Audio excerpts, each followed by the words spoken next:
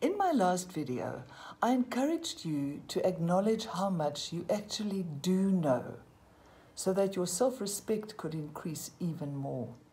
Essentially, I used Shulman's knowledge basis to talk about the broad kinds of knowledge that teachers have. I also mentioned that those were not the only kinds of knowledge that teachers possess. Knowledge is broadly divided into two categories, which are formal and informal knowledge. Formal knowledge is the kind of information that we get from any formal source. This could be books, university or college courses, lectures and seminars, and that kind of thing. Included in this category would be Shulman's knowledge base of content knowledge.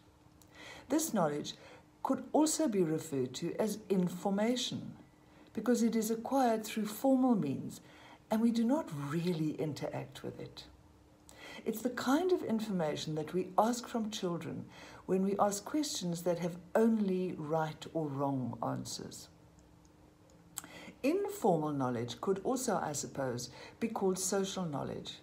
We gain this from experience, and it happens outside of formal learning structures.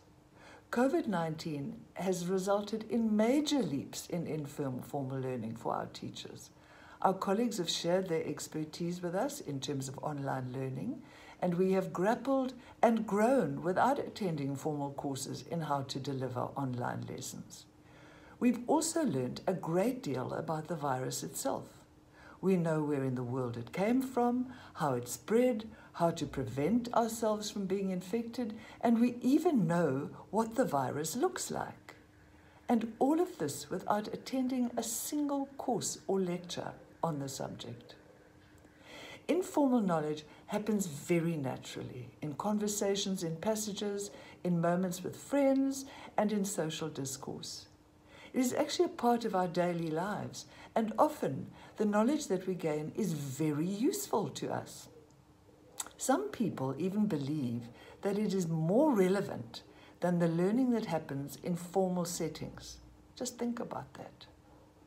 Shulman's knowledge base of context, the learner, pedagogical content knowledge, and the self are all acquired informally while we are busy teaching.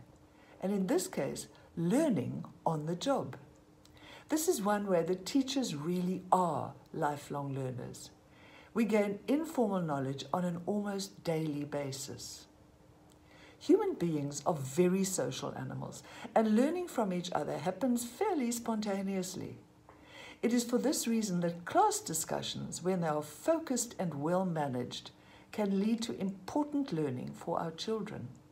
During these sessions, they discuss information, grapple with it, personalize it, and create personal and meaningful knowledge. Explicit knowledge is also a kind of knowledge. It is something that we know that we know and we can easily talk about. It is accessible, expressible, and more importantly, it can be stored for the future. On the other hand, tacit knowledge is more personal and is often gained through experience.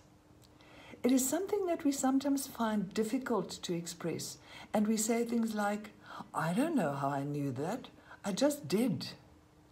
It's the knowledge that we have when we feel that a lesson is going really well, or when we just know that something is missing in a lesson. Tacit knowledge can be intuitive and can be an insight, and is often the knowledge that we use when we make quick judgments. This kind of knowledge is obviously very important for teachers who make quick decisions hundreds of times a day. You never thought about that before, did you?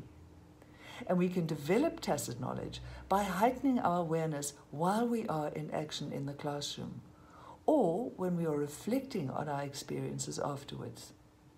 The more aware we are, the easier it is for us to develop this extremely important form of knowledge. I've spent time discussing with you the knowledge that you already have because I think it's so important to acknowledge how much you really know about your craft. Very few people are aware of the incredible work that is done quietly every day and the little miracles of learning that happen when a child suddenly understands and knows something. Those shining eyes, those sudden smiles. Okay, they're behind masks, but we know they're there. And so I acknowledge you as a knowledge rich maker of tomorrow. I salute you as a worker of miracles. And I ask you very sincerely to take care of yourself and stay safe. I'll see you again.